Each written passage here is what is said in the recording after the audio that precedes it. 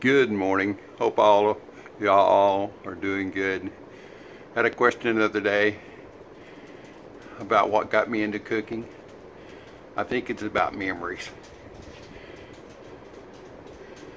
These are all utensils from my grandmothers and aunts that were handed down.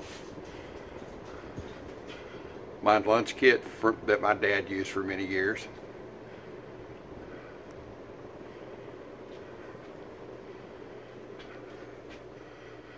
Feed scoop that we fed our cattle with for 40 years. Dippers to dip milk out of the chiller container when I worked for a dairy.